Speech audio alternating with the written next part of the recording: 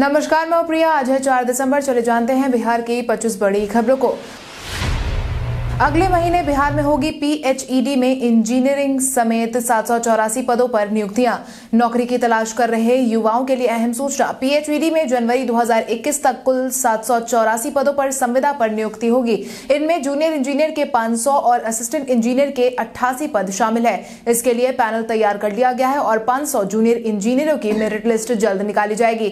वहीं अट्ठासी असिस्टेंट इंजीनियरों का पैनल तैयार करने के लिए स्क्रूटी शुरू कर दी गई है। दूसरी ओर विभाग ने केमिस्ट के 33 असिस्टेंट केमिस्ट के 30 और लैब असिस्टेंट के 125 यानी कुल एक सौ छियानवे पदों पर स्थायी नियुक्ति करने का फैसला सुनाया है। इच्छुक और योग्य उम्मीदवार P H E D M I S dot B I S dot N I C dot I N पर जाकर आवेदन कर सकते हैं। बांका के ज्येष्ठ गौरवनाथ मंदिर में आपको देखने को मिलेगा बहुत कुछ खास। ज्येष्ठ गौरवनाथ एक शिव मंदिर है, जो चांदन नदी के पश्चिम में एक पहाड़ी पर स्थित है। अक्सर शिवरात्रि को यहाँ मेले का आयोजन होता है। रजौन प्रखंड के रूपसा गाँव में काली मंदिर और माँ दुर्गा की प्राचीन मंदिर है। इसके अलावा चितेश्वर नाथ मंदिर चुटिया ग्राम में है। यहाँ एक गुफा है और पत्थरों पर रथ के पहिए के निशान भी देखने को मिलते हैं। माना जाता है यहाँ कभी प्राचीन समय में युद्ध हुआ था। असिस्टेंट प्रोफेसर पद के लिए आवेदन भरने की तारीख बढ़ी आगे। असिस्टेंट प्रोफेसर पद के लिए आवेदन भरने की अंतिम तारीख को बढ़ा दिया गया है। मिली जानकारी के अनुसार छात्रों की मांग को देखते हुए बिहार राज्य विश्वविद्यालय सेवा आयोग ने असिस्टेंट प्रोफेसर नियुक्ति के लिए ऑनलाइन आवेदन करने की तारीख दस दिसंबर तक बढ़ा दी है। वहीं आवेदन की हार्ड कॉपी को अब तीस दिसंबर शाम पाँच बजे तक भेजा जा सकेगा। बुधवार तक करीब अड़तालीस हज़ार लोग आवेदन कर चुके थे। आपको बता दें, इन पदों के लिए इक्कीस सितंबर से आवेदन की प्रक्रिया शुरू करवा दी गई थी, जो कि अब 10 दिसंबर तक जारी रहने वाली है। ध्यान रहे, ऑनलाइन आवेदन की हार्ड कॉपी दस्तावेजों के साथ आयोग को डाक के ज़रिए 24 दिसंबर तक भेजी जानी थी। बिहार में मिले कोरोना के 500 से ज़्यादा मामले। बिहार में कोरोना के मामलों में गिरावट देखने को मिल रही है। स्वास्थ्य विभाग की तरफ़ से जारी किए गए जानकारी के अनुसार बिहार में बीते दिन के पिछले 24 घंटे में कुल मिलाकर पाँच नए मरीजों की पुष्टि की गई है, जिसके बाद बिहार में प्रभावितों की संख्या बढ़कर दो लाख सैंतीस हज़ार तीन सौ उनचास पर पहुँच गई है। इसके साथ ही अगर हम टॉप तीन जिलों की बात करें तो राजधानी पटना में एक नए मामले सामने आए हैं, मुजफ्फरपुर में बत्तीस मामले सामने आए वहीं सहरसा में तैतीस मामले की पुष्टि हुई है।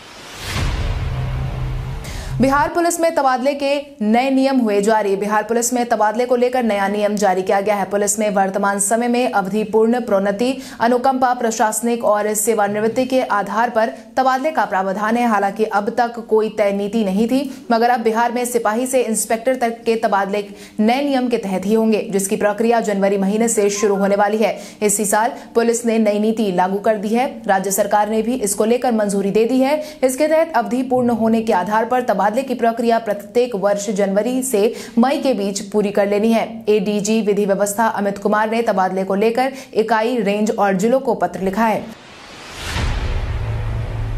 बिहार में ड्राइविंग लाइसेंस बनवाना हुआ, अब और भी आसान। बिहार में लर्निंग लाइसेंस बनवाने का काम अब आसान हो गया है। जिसके बाद अब लर्निंग लाइसेंस बनवाने के लिए दफ्तरों के चक्कर नहीं लगाने होंगे, बल्कि अब घर बैठे बैठे आसानी से ऑनलाइन माध्यम से लाइसेंस बनवाने का काम पूरा हो जाएगा।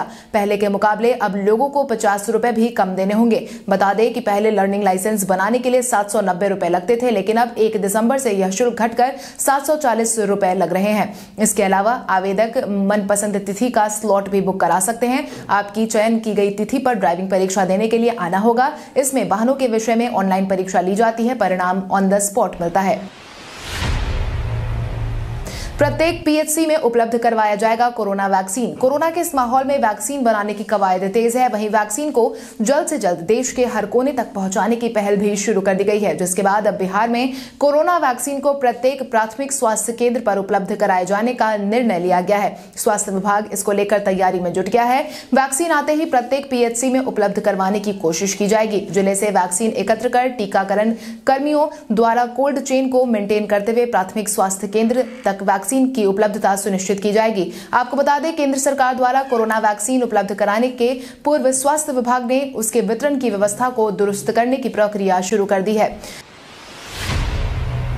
फ्रंटलाइन वर्कर्स को वैक्सीन देने के लिए डेटाबेस का काम हुआ शुरू। कोरोना वैक्सीन आते ही इसे सबसे पहले फ्रंटलाइन वर्कर्स को देने की योजना के तहत काम शुरू हो गया है, जिसके तहत हाल ही में स्वास्थ्य विभाग के निर्देश पर सभी जिलों में कोरोना से बचाव को लेकर सबसे आगे की पंक्ति में कार्य कर रहे कर्मियों को टीका लगाने की तैयारी शुरू कर दी गई है। इसके लिए सभी जिलों के सिविल सर्जन को निर्देश दिया गया है कि वे अपने अपने ज़िले में कोरोना वॉरियर्स का डेटाबेस तैयार करें, ताकि यह आकलन आसानी से किया जा सके कि पहले चरण में कितने वैक्सीन की ज़रूरत ज़रूरत होगी।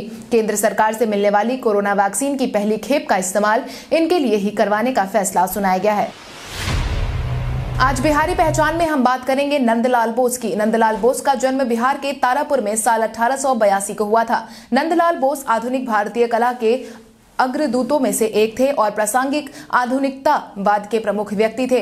रविंद्रनाथ टैगोर के शिष्य बोस को उनके भारतीय शैली के लिए जाना जाता था। वे 1922 में शांति निकेतन के कला भवन के प्राचार्य बने। वो टैगोर परिवार और अजंता के भित्ति चित्रों से प्रभावित थे। उनकी क्लासिक कृतियों में भारतीय पौराणिक कथाओं, महिलाओं और ग्राम जीवन के दृश्यों के चित्र शामिल है। आज कई आलोचक भारत के सबसे महत्वपूर्ण आधुनिक चित्रों में से उनके चित्र को मानते हैं। भागलपुर में जहाज़ चलाने की योजना पर काम हुआ शुरू। भारतीय अंतरदशीय जलमार्ग प्राधिकरण ने हाल ही में जहाज़ चलाने की योजना पर अपना फैसला सुनाया है, जिसके तहत प्राधिकरण ने विक्रमशिला सेतु के पश्चिमी हिस्से में लगभग एक किलोमीटर दूर दियारे को बीचों बीच काटकर जहाज़ चलाने का निर्णय लिया गया है। हालाँकि जिस जगह पर जहाज़ चलाने की योजना बनाई जा रही है, उस जगह पर दियारे की मिट्टी को मशीन से ड्रेजिंग कर काट कर हटाया जाएगा। दियारे पर स्थित अमरी बिशनपुर गाँव के पूर्वी हिस्से में स्थित बैरिया धार को पुनर्जीवित किया जाएगा। इस धार के नब्बे फ़ीसदी हिस्से में अभी भी लाखों गैलन साफ़ पानी जमा है। पटना, मुजफ्फरपुर और गया में नहीं लगेंगी औद्योगिक इकाइयाँ। राज्य में संचालित सभी औद्योगिक इकाइयों को उद्योग स्थापित और संचालित करने के पहले बिहार राज्य प्रदूषण नियंत्रण परिषद से सहमति प्राप्त करना अनिवार्य कर दिया गया है। प्रदूषणकारी 22 औद्योगिक इकाइयाँ, cement, stone crusher, coal processing, acid battery, thermal power, plants, oil refinery, bone mill, rubber, tyre और ट्यूब, सिरामिक्स आदि इकाइयाँ पटना के मास्टर प्लान सीमांकन क्षेत्र, मुजफ्फरपुर और गया के योजना क्षेत्र में स्थापित नहीं होगी। इसको लेकर राष्ट्रीय हरित अधिकरण प्रिंसिपल बेंच नई दिल्ली द्वारा देश में 102 प्रदूषित शहरों में स्वच्छ हवा के लिए समय सीमा से संबंधित मामले की सुनवाई करते हुए निर्देश जारी किया गया है। अंचल कार्यालयों में तीन साल से जमे कार्यपालक सहायक के ट्रांसफ़र का जारी किया गया आदेश। बिहार सरकार ने सूबे के सभी डीएम को अंचल कार्यालय में कार्यरत सहायक के ट्रांसफ़र का आदेश जारी किया है। मिली जानकारी के अनुसार राजस्व एवं भूमि सुधार विभाग के अपर मुख्य सचिव विवेक कुमार सिंह ने सभी समाहर्ता को तीन वर्ष या इससे अधिक समय से पदस्थापित अंचलों को स्थानांतरित करने का निर्देश दिया है, जिसके लिए पत्र भी जारी कर दिया गया है। जारी किए गए पत्र में कहा गया है कि लोक सेवा अधिकार अधिनियम के क्रियान्वयन को लेकर नियोजित कार्यपालक सहायक का पदस्थापन स्थापना विभिन्न अंचलों में दाखिल खारिज एवं अन्य महत्वपूर्ण कार्यों के निष्पादन में किया जा रहा है। बिहार में अब किसानों को नहीं मिलेगा डीजल अनुदान। पूरे देश भर में किसान का विरोध जारी है। वहीं किसानों के विरोध के बीच नीतीश सरकार ने अहम फैसला सुनाया है, जिसके तहत अब बिहार के किसानों को सरकार की तरफ़ से दिए जाने वाले डीजल अनुदान की अवधि को समाप्त कर दिया गया है। यह योजना लगभग एक दशक पुरानी थी। वहीं इस योजना को खत्म करने पर कृषि मंत्री अमरेंद्र प्रताप सिंह ने कहा है कि बिजली की उपलब्धता हर गाँव में हो गई है, साथ ही बिजली डीजल से सस्ती भी है। इसलिए अब डीजल अनुदान की ज़रूरत नहीं है। आपको बता दें, किसानों को तीन सिंचाई के लिए प्रति लीटर साठ रुपए की दर से अनुदान दिया जा रहा था।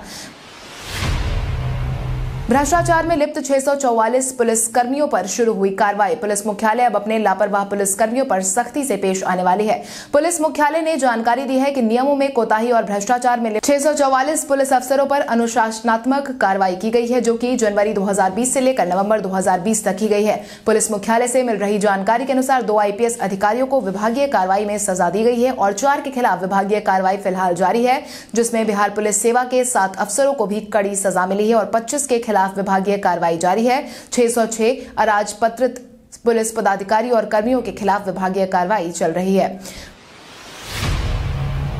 बिहार प्रशासनिक सेवा के आठ अफसरों की हुई प्रतिनियुक्ति। बिहार प्रशासनिक सेवा के आठ अधिकारियों को बिहार सरकार ने प्रतिनियुक्त किया है। इस संबंध में सामान्य प्रशासन विभाग ने अधिसूचना जारी कर दी है। बिहार लोक सेवा आयोग की तरफ़ से असैनिक न्यायाधीश के पदों पर नियुक्ति को लेकर इकतीसवीं बिहार न्यायिक सेवा प्रतियोगिता परीक्षा का आयोजन छह दिसंबर को किया गया है। जिसके तहत सफल संचालन को ध्यान में रखते हुए इन अधिकारियों की प्रतिनियुक्ति की गई है। इन सभी अधिकारियों को जोनल दंडाधिकारी के रूप में कार्य करने के लिए बिहार लोक सेवा आयोग में प्रतिनियुक्त किया गया है। सुशील मोदी के राज्यसभा के रास्ते में आई अड़चन।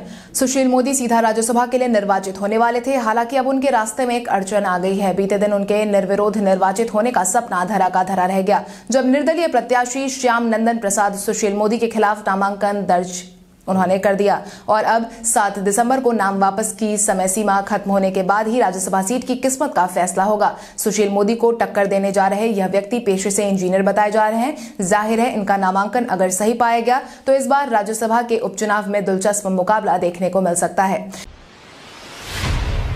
आने वाले पाँच दिनों तक कोयलवर पुल पर परिचालन रहेगा पूरी तरीके से ठप। आने वाले पाँच दिनों तक भोजपुर ज़िले में बनना नया कोइलवर पुल बंद कर दिया गया है, जिसके परिणाम स्वरूप अब पाँच दिसंबर से लेकर के दस दिसंबर तक कोइलवर पुल पर आवागमन बंद रहने वाला है। मिली जानकारी के अनुसार गृह विभाग के आदेश पर निर्माण के बाद पुल का उद्घाटन किए बगैर ही वाहनों का परिचालन शुरू करवा दिया गया था। लेकिन अब इसका उद्घाटन इसी महीने, यानी दस दिसंबर को केंद्रीय परिवहन मंत्री नितिन गडकरी और केंद्रीय ऊर्जा राज्य मंत्री सह आरा सांसद आर के सिंह के हाथों करवाया जाएगा। वहीं नए पुल के एक हिस्से में बाकी बचे कार्यों को पूरा करने के लिए इसे फ़िलहाल पाँच दिनों के लिए बंद किया जा रहा है। पटना बांसघाट स्थित समाधि स्थल पर राजकीय सम्मान के साथ मनाई गई जयंती। बीते दिन देश रत्न से सम्मानित देश के पहले राष्ट्रपति स्वर्गीय डॉक्टर राजेंद्र प्रसाद की एक जयंती राजकीय समारोह के साथ मनाई गई। उनकी जयंती पर मुख्यमंत्री नीतीश कुमार ने जहाँ अपने आवास, एक अने मार्ग पर उनकी प्रतिमा पर माल्यार्पण कर उनकी जयंती मनाई, वहीं राष्ट्रपति स्वर्गीय डॉक्टर राजेंद्र प्रसाद की एक जयंती राजकीय समारोह के साथ मनाई गई, जहाँ पटना के डीएम कुमार रवि ने उनकी प्रतिमा पर माल्यार्पण कर श्रद्धांजलि दी। डीएम ने उनकी समाधि स्थल पर रखे रजिस्टर पर सिग्नेचर कर उन्हें याद भी किया। भारत के इतिहास में आज की तारीख कई कारणों से है दर्ज। भारत के इतिहास में 4 दिसंबर का अपना ही एक खास महत्व है, क्योंकि इस दिन कई महत्वपूर्ण घटनाएँ घटी जो इतिहास के पन्नों में हमेशा के लिए दर्ज होकर रह गई है। सत्रह सौ छियानवे में बाजीराव द्वितीय पेशवा नियुक्त हुए थे। अठारह सौ निन्यानवे में टाइफॉइड का टीका पहली बार मनुष्य को इस बीमारी से सुरक्षित रखने के लिए प्रयोग किया गया था। उन्नीस सौ उन्नीस में भारत के बारहवें प्रधानमंत्री इंद्र कुमार गुजराल का जन्म आज ही के दिन हुआ था। उन्नीस सौ दस में भारतीय राजनीतिज्ञ रामास्वामी वेंकटरमन का जन्म जन्म आज ही के दिन हुआ था। उन्नीस में आज ही के दिन भारतीय अभिनेता जावेद जाफरी का जन्म हुआ था। चिराग पासवान ने सभी को छह महीने तक मुख्यमंत्री के खिलाफ नहीं बोलने की दी नसीहत। बिहार में मिली हार के बाद अब चिराग पासवान हार की समीक्षा करने में जुट गए हैं, जिसको लेकर बीते दिन बैठक का आयोजन करवाया गया था। वहीं बैठक में चिराग पासवान ने आने वाले छह महीने तक मुख्यमंत्री नीतीश कुमार के खिलाफ कुछ भी बोलने से परहेज करने की बात कही है। मीडिया रिपोर्ट के अनुसार चुनाव में हार की समीक्षा के लिए बुलाई गई बैठक में चिराग ने खुद भी सीएम नीतीश के खिलाफ छह महीने तक बयान नहीं देने की बात कही है। उन्होंने पार्टी नेता को क्षेत्रों में संगठन विस्तार करने का निर्देश भी दिया है।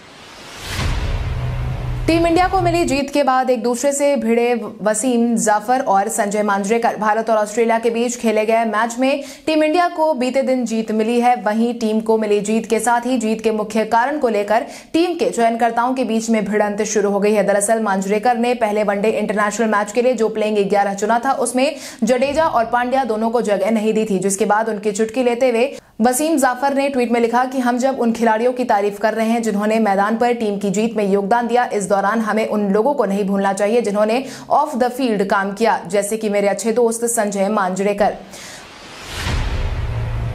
भारती सिंह और हर्ष लिम्बाचिया को बेल दिलवाने के आरोप में दो एनसीबी ऑफिसर को किया गया सस्पेंड। एनसीबी ने कुछ दिनों पहले ही गांजा मिलने के बाद कॉमेडियन भारती सिंह और उनके पति हर्ष लिम्बाचिया को हिरासत में लिया था। हालाँकि कुछ दिनों बाद ही इन दोनों को बेल मुहैया करवा दी गई थी। मगर अब इस पूरे मामले में एनसीबी के दो अफसर पर ही गाज गिर गई है। मिली जानकारी के अनुसार एनसीबी ने अपने ही दो अफसर को भारती सिंह और उनके पति को बेल मुहैया करवाने का आरोप लगाया है। एनसीबी को अपने दो अधिकारियों की भूमिका संदिग्ध लगी है, जिसमें बताया जा रहा है कि दोनों अधिकारियों ने कॉमेडियन भारती सिंह, उनके पति हर्ष और दीपिका पादुकोण की मैनेजर करिश्मा को बेल दिलवाने में मदद की है। इसके अलावा एनसीबी के वकील की भूमिका की जाँच भी की जा रही है।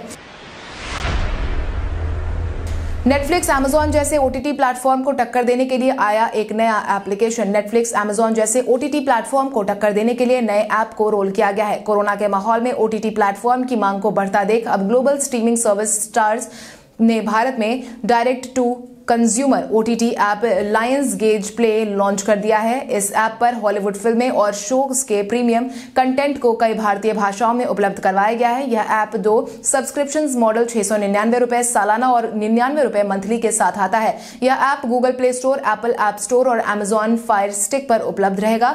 आपको बता दें स्टार्स एक अंतर्राष्ट्रीय स्ट्रीमिंग ऐप है। इसे साल 2018 में लॉन्च किया गया था। यह Europe Latin America Canada Japan और भारत समेत 55 देशों में उपलब्ध है। अब आइए जानते हैं सराफा बाज़ार और पेट्रोल डीजल के क्या थे भाव। अगर हम सराफा बाज़ार की बात करें तो सोने का भाव 3 दिसंबर को 22 कैरेट के लिए प्रति दस ग्राम, अड़तालीस हज़ार एक सौ चालीस रुपए था। वहीं 24 कैरेट के लिए प्रति दस ग्राम, उनचास हज़ार एक सौ चालीस रुपए था। वहीं अगर हम चांदी की बात करें तो चांदी का भाव प्रति किलो बासठ हज़ार चार सौ रुपए था। इसके अलावा राजधानी पटना में पेट्रोल की कीमत चौरासी दशमलव नौ नौ रुपए प्रति लीटर थी। वहीं डीजल छिहत्तर दशमलव एक नौ रुपए प्रति लीटर था। बिहार में कोरोना मामलों को लेकर हाईकोर्ट ने जारी किया अपना बयान। बीते दिन पटना हाईकोर्ट ने कोरोना के मामलों को लेकर अपना पक्ष रखा है, जिसके तहत कोरोना की वर्तमान स्थिति पर कोर्ट ने टिप्पणी करते हुए कहा है कि यह मामला सुप्रीम कोर्ट में फ़िलहाल लंबित है।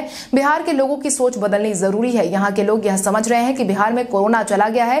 कोर्ट का कहना है कि बिहार कोरोना को खा गया, सच्चाई ये नहीं है। घनी आबादी वाला यह राज्य है। यहाँ देश के दसवें हिस्से के लोग निवास करते हैं। यहाँ के लोगों को ज़ोर देकर बताना होगा कि कोरोना किस तरह से फैल रहा है। केंद्र एवं राज्य सरकार द्वारा चलाए जा रहे कोरोना बचाव के सभी कार्यक्रम से लोगों को जागरूक करना होगा। उन्हें समझाना होगा कि शहरों एवं गाँव में कोरोना संक्रमण से लोग प्रभावित हो रहे हैं। कल हमारे द्वारा पूछे गए सवाल का जवाब आप में से बहुत सारे यूज़र ने हमें कमेंट करके दिया था। उसके लिए आपका बहुत बहुत धन्यवाद। आप में से जिन यूज़र का कमेंट हमें अच्छा लगा है, उनके नाम है Ranjit Mehta, Deepak Kumar, Shweta Roy, Mrityunjay Kumar, Rajkumar Yadav, Chakki, Ravindra Paswan, Anuradha Kumari, Nisha Kumari Sanjeet Kumar Singh, Babul Kumar, Chhotu Kumar Ashok Kumar Sadanand Yadav study with NCERT books channel इसके अलावा हमारी टीम को और भी लोगों के जवाब अच्छे लगे हैं, मगर समय के अभाव के कारण हम उनका नाम नहीं ले पाए, लेकिन आप हमारे सवालों का जवाब देते रहे। हम कल आपका नाम लेने की पूरी कोशिश करेंगे। तो चलिए बढ़ते हैं आज के सवाल की ओर। आज का सवाल कुछ इस प्रकार है। आपके अनुसार भारत और ऑस्ट्रेलिया के बीच खेले जाने वाले चौथे मैच में आज किसका पलड़ा ज़्यादा भारी है? अपने जवाब हमें कमेंट करके ज़रूर बताएँ। इसके साथ ही आज के लिए बस इतना ही। अगर आप ये वीडियो हमारा यूट्यूब पर देख रहे हैं तो हमारे चैनल को सब्सक्राइब करें और बेलाइकॉन दबाना ना भूलें। और अगर आप ये वीडियो हमारा फेसबुक पर देख रहे हैं तो इस वीडियो को लाइक करें और ज़्यादा ज़्यादा शेयर करें। धन्यवाद।